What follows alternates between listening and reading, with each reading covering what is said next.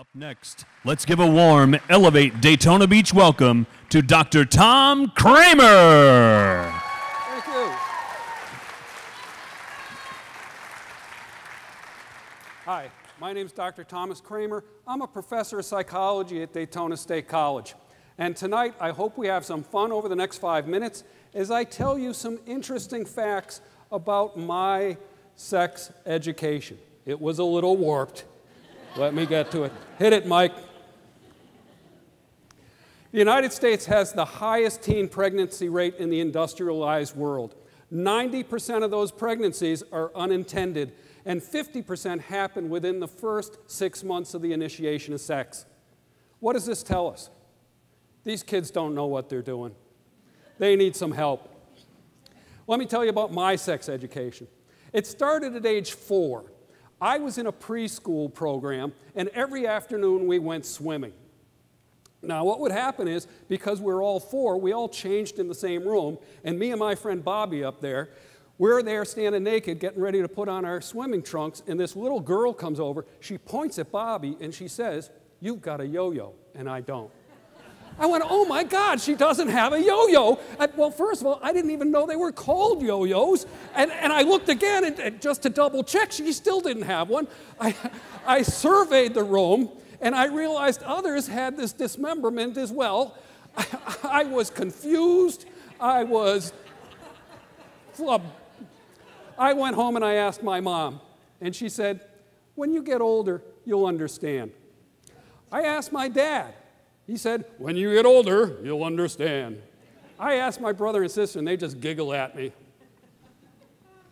It wasn't, uh, was it about seven or eight, was my next sex education where a kid in the schoolyard told us how babies were made. Oh my God, you're kidding. Can't you get cooties from doing this stuff? I mean, really? Ah. It wasn't until I was about 11 that I finally had an adult conversation about sex. Now, he was 13, so I knew he really knew what he was talking about. yeah. And he told me that there were certain diseases you could get if you had sex with the wrong person, and the yo yo would shrivel up and drop off. I'm going, oh my God. But he said he knew how to protect yourself. He said there was a safe way to have sex, and he told me it was all about the lemon. He said, if you're with a girl, you squirt the lemon on her, and if she jumps and yells, she's got it. yeah. I made sure I had lemons on me. You know, don't go with a girl that can't pass the lemon test. That's, that's the truth. So I'm 11 years old. I'm sitting in geography class, math class, trying to figure out how these lemons are going to work in a dating scenario. Oh my gosh, what's going to happen? I even got to the point where I went out and learned how to juggle lemons just so I would have a reason to have them on me.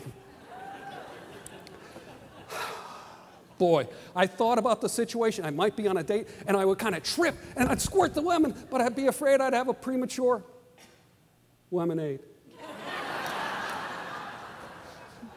this was getting complicated. I really needed some help. I was 12 years old. My dad comes into my room and he says to me, Do you know what you need to know? I'm 12. I knew everything. I mean, I knew the mechanics. I knew about the miracle of the lemon. What else was there? So I said to my dad, No, I'm good. He goes, Okay. Let me ask you, how many of you, raise your hand, had the dad or mom talk? Come on, raise your hand. Not that many. How many of you had formal sex education in school.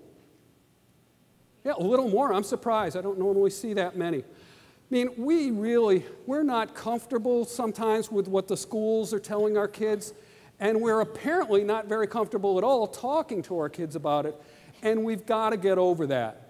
We know the great fear of where our kids might go to get their information.